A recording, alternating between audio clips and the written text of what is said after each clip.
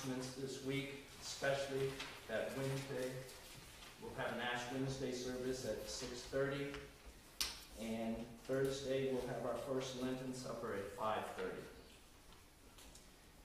We are now going to do ministry moments.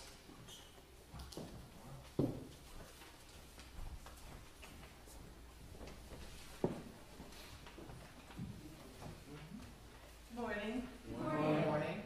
So as all of you may have heard or noticed, uh, we've had the flu kind of going through and some illnesses, flu, flu and cold going through the church. So Pastor Lena suggested, and, and I agree that uh, it'd be good for us to do a disinfecting, disinfecting the church. Melissa's ordered supplies, they should be in this Thursday. And so what I need is about you know, four or five volunteers to meet up and just to, so we could just spray down the cushions, wipe off the surfaces and go through the church real quickly. Um, I was thinking maybe Saturday morning, next Saturday morning at nine, if we could meet here. So if anyone is free or available to help me out, I would appreciate it, and, uh, you can meet up with me afterward. Um, I would also advise maybe to bring, if you have some rubber gloves, bring those, so whatever we're, you know, spraying, it doesn't get on the sheet. Thank you very much. Thank you. Are there any more ministry moments? I just want to point out, uh, even though Daryl has announced um, Lenten suppers, Lenten suppers are potluck, and I have the potluck sign up, so it's soups, salads, and basic breads. It's very simple, and, um, yeah, it'll be out on the bulletin board today if you'd like to sign up for something. Anyone else this morning?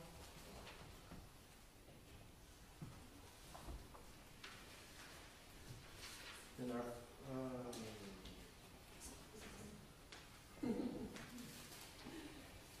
Will you bow your heads in prayer? We gather together to worship, knowing that God is already here among us, knowing that there is nothing that separates us from the presence of our Lord. Wherever we are, wherever we go, God is near. So let us enter into this service of worship with confidence and hope, knowing that God is already with us and that he stands eager to meet us and bless us with his love. Amen.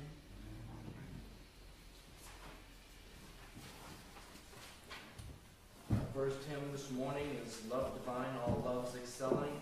That's in our normal hymnal, the big blue one, number 384.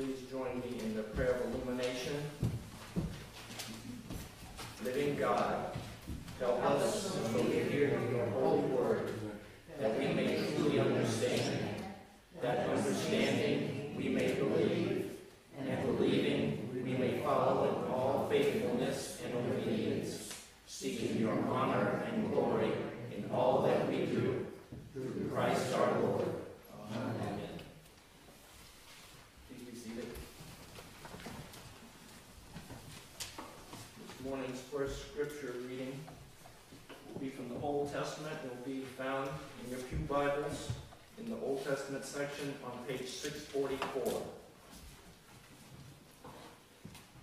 This is Isaiah 55, 6 through 11. Isaiah is asking three things of the Israelites here to seek God, to trust God, and to listen to God.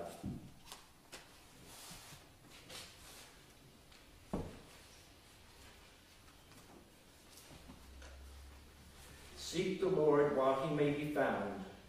Call upon him while he is near. Let the wicked forsake their way, and the unrighteous their thoughts. Let them return to the Lord, that he may have mercy on them, and to our God, for he will abundantly pardon. For my thoughts are not your thoughts, nor are your ways my ways, says the Lord. For as the heavens are higher than the earth, so are my ways higher than your ways, and my thoughts than your thoughts. For as the rain and the snow come down from heaven, and do not return there until they have watered the earth, making it bring forth and sprout, giving seed to the sower and the bread to the eater, so shall my word be that goes out from my mouth. It shall not return to me empty, but it shall accomplish that which I purpose, and succeed in the thing for which I sent it. The word of God for the people of God. Thanks be to God. Our next hymn will be number 467, Trust and Obey. Again, if you are able, please stand and join in.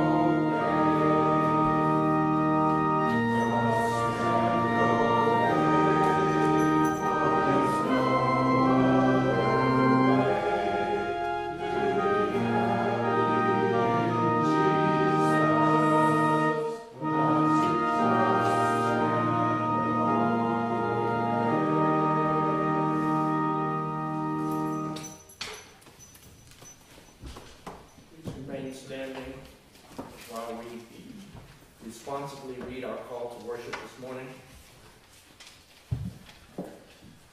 What mighty praise belongs to you, O God, for your acts of love and faithfulness toward us. In your mercy, you hear our prayers. You forgive our sins. You provide our needs. From one end of the earth to the other, you inspire worship and praise.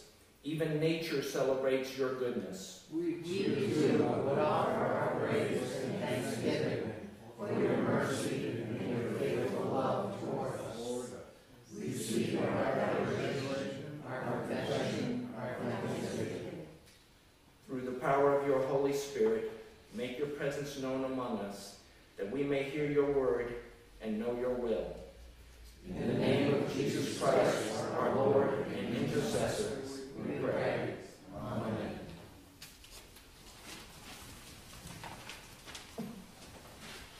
In the spirit of gratitude for who God is and what He has done for us, I invite you to share um, joys and praises from your lives.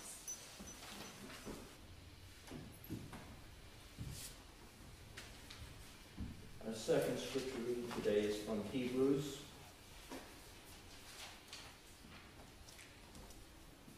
That is in your Pew Bible in the New Testament on page 206, Hebrews 4 11 through 16.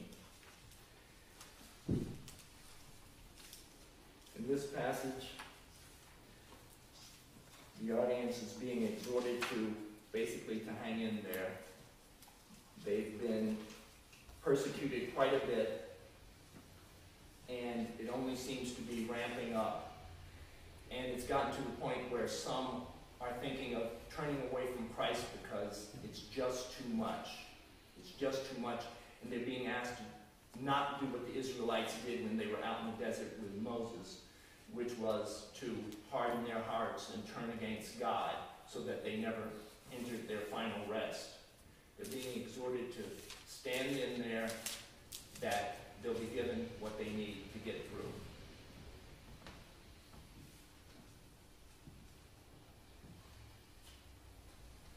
Let us therefore make every effort to enter that rest, so that no one may fall through such disobedience as theirs. Indeed, the Word of God is living and active, sharper than any two edged sword, piercing until it divides soul from spirit, joints from marrow. It is able to judge the thoughts and intentions of the heart. And before him no creature is hidden, but all are naked and laid bare to the eyes of the one to whom we must render an account. Since then we have a great high priest who has passed through the heavens, Jesus, the Son of God. Let us hold fast to our confession. For we do not have a high priest who is unable to sympathize with our weaknesses, but we have one who in every respect has been tested as we are, yet without sin. Let us therefore approach the throne of grace with boldness, so that we may receive mercy and find grace to help in time of need. The word of God for the people of God. We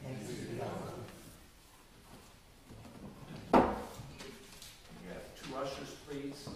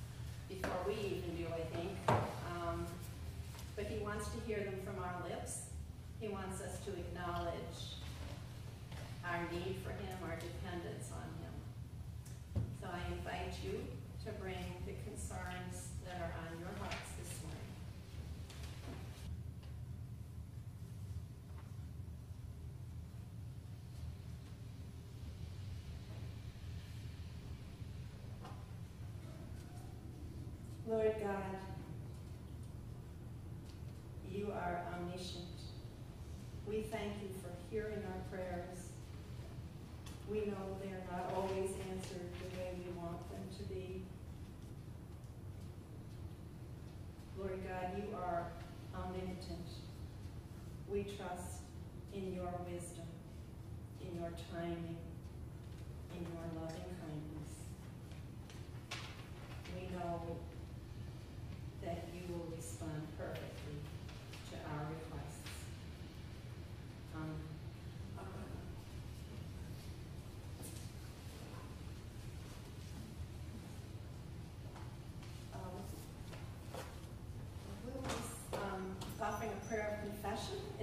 hymnal on page 892.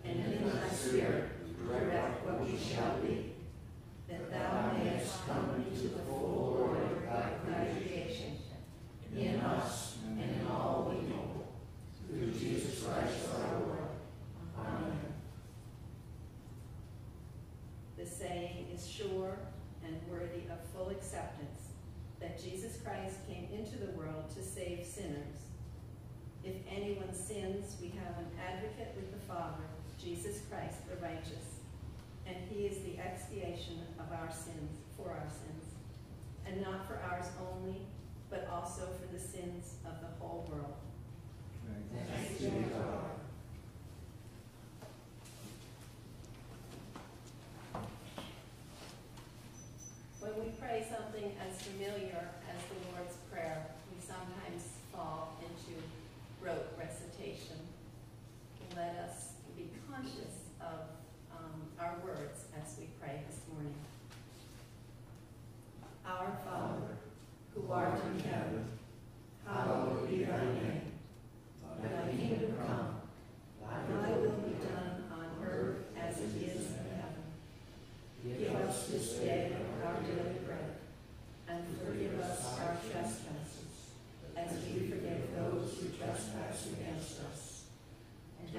not into temptation, but deliver us from evil. For thine is the kingdom, the power, and the glory forever. Amen.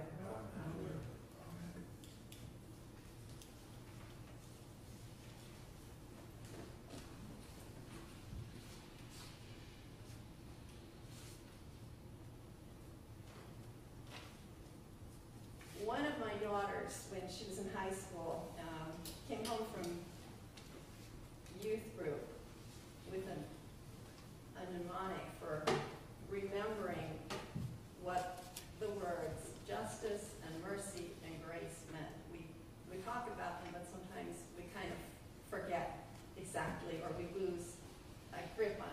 they mean, and especially for someone that age, um, it sounded a little bit like you know theological terminology to her.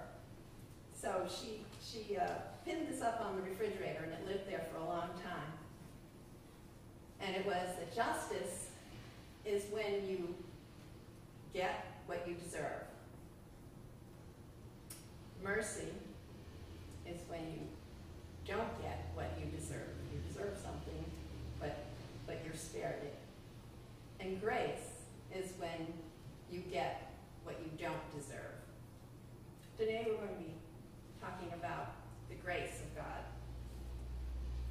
this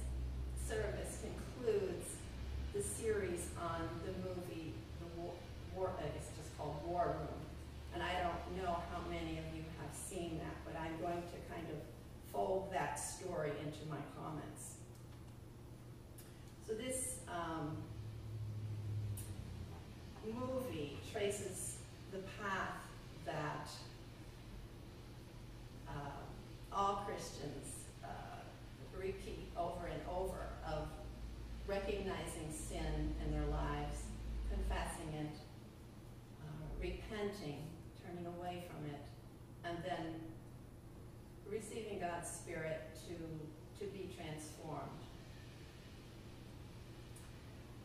So the premise of the movie is, well, it starts off, there's, um, there's a couple, um, and they, their, their marriage is faltering. And um, they are nominal Christians, I would say. They church. And the wife is a real estate agent. So she, um, she uh, gets a client who's an older woman who is selling her house to go live with her son. And this woman, Miss Clara, is a very committed Christian.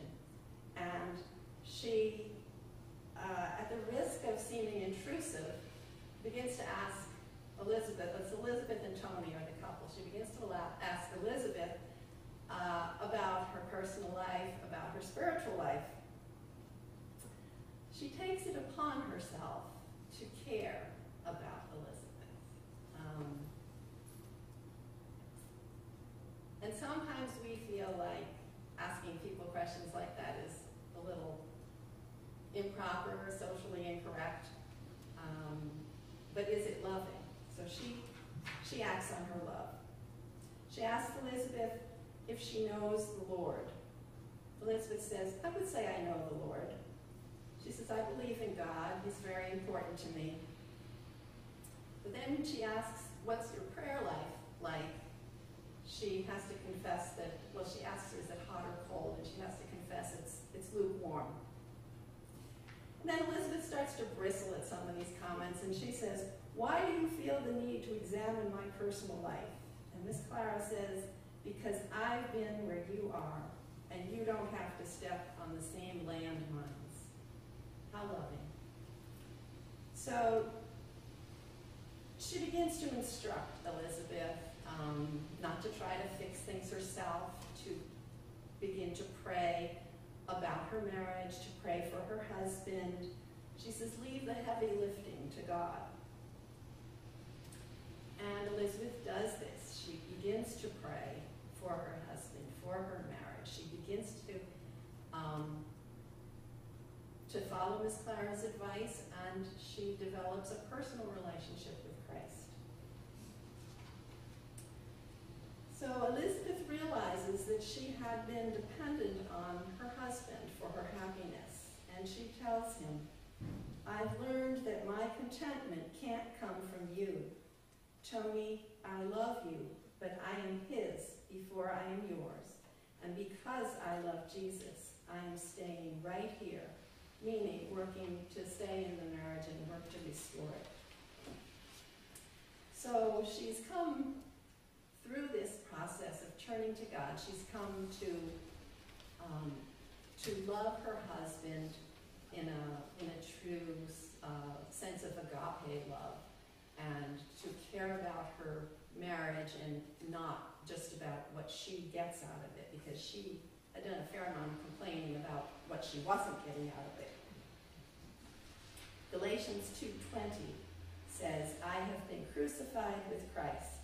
It is no longer I who live, but Christ who lives in me. And the life I now live in the flesh, I live by faith in the Son of God, who loved me and gave himself for me. We were bought for a price. Paul, over and over, speaks of those who belong to Christ. Have you ever said to anybody, I belong to Christ? I have never said that. I have said I'm a Christian. I have said I worship at Peterborough United Methodist Church. I have never said I belong to Christ, but I've been thinking about that this week. And why, why does that seem really too out there, too strong. And I think it's because I'm afraid someone will think, oh, she's really religious, you know, and like a wall go up.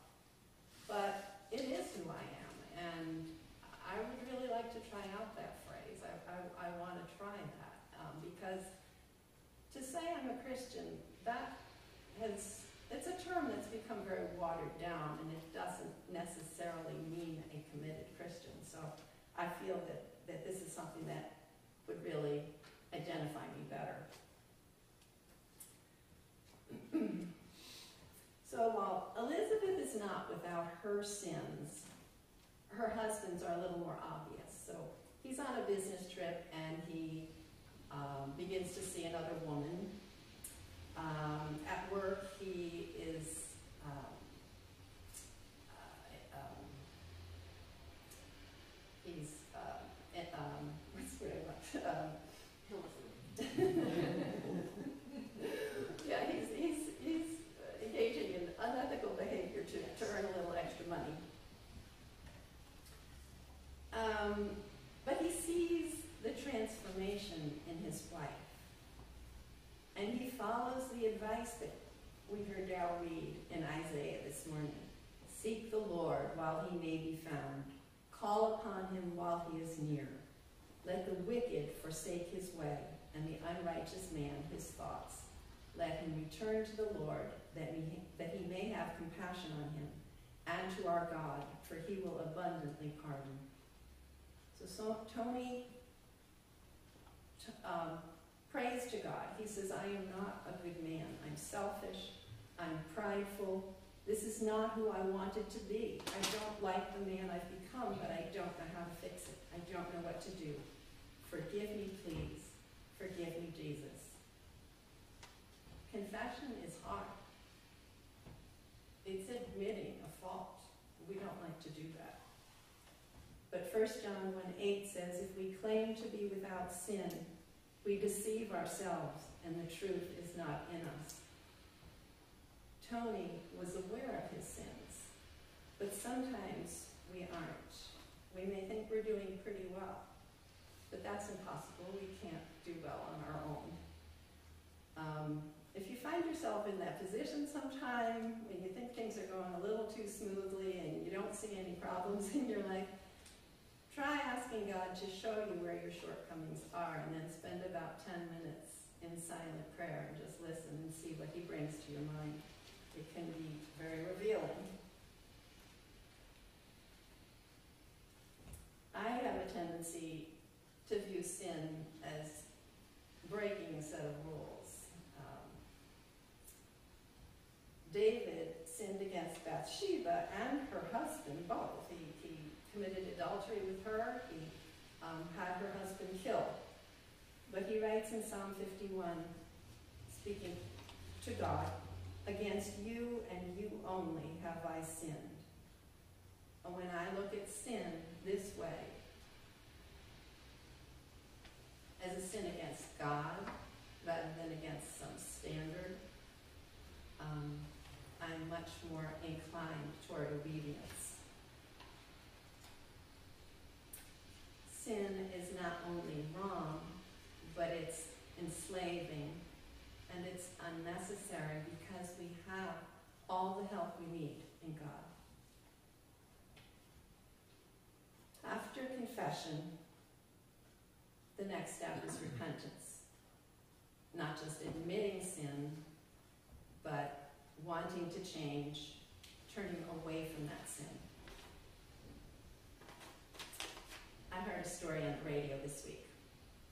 That was the classic a man falls off a cliff, and on this, his, his way down, dropping into some gorge, there is a lone tree growing bravely out of the rock, and he grabs hold of that branch. And he's hanging there by one hand, desperate, sees no one around, starts yelling, Help, help, is there anyone out there who can help me?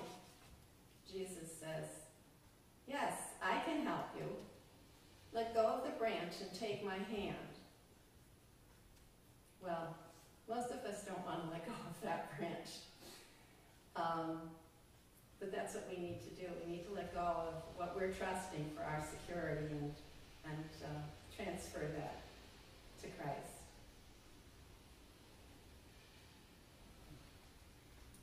The rest of the film shows um, Tony's sincere, sincere desire for change. You can see it in his words and in his actions. Um, he, he wants his life to change, and, and it does. Repentance is what leads also to forgiveness. Acts 3.19 says, Repent therefore and turn back, that your sins may be blotted out. Jesus died for our sins so that when we repent, our sin isn't counted against us.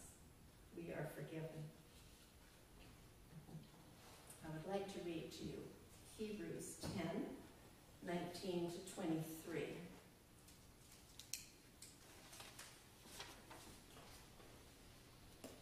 Therefore, my friends, since we have confidence to enter the sanctuary by the blood of Jesus, by the new and living way that he opened for us through the curtain, that is, through his flesh, and since we have a great priest over the house of God, let us approach with a true heart in full assurance of faith, with our hearts sprinkled clean from an evil conscience and our bodies washed with pure water. Let us hold fast to the confession of our hope without wavering, for he who has promised is faithful.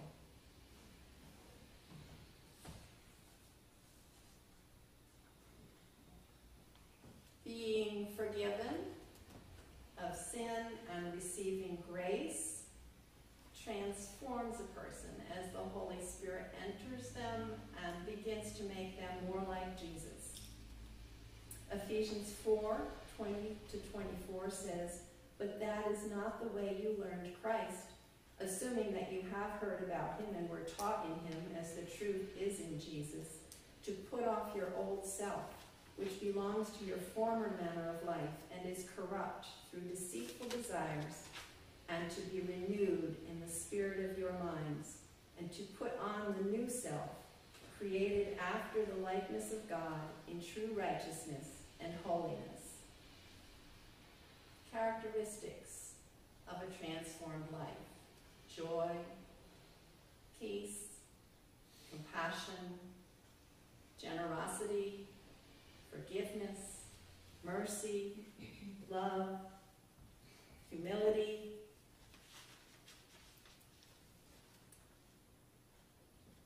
People are often reluctant to come to God because they feel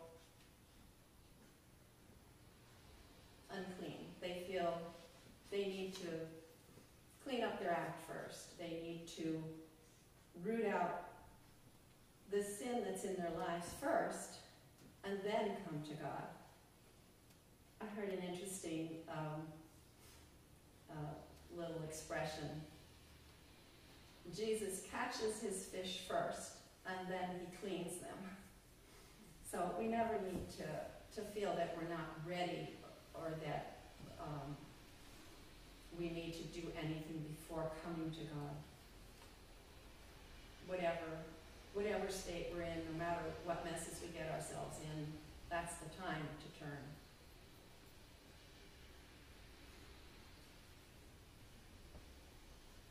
Back to the war room.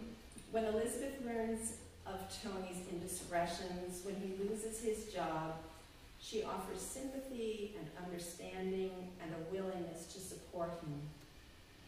Tony can't understand this forgiving attitude, the grace that she offers him. He feels unworthy. We're all unworthy, that's what makes it grace.